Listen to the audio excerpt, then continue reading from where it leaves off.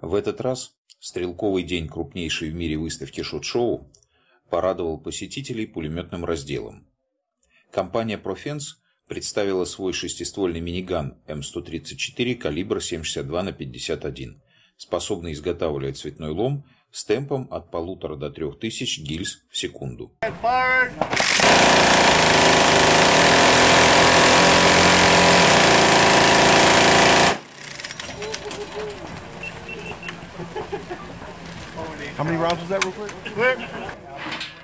Во время охлаждения блока стволов можно было наблюдать за процессом подготовки боеприпасов для стрельбы, когда отдельные отрезки, снаряженные ленты, соединяются в бесконечную змею.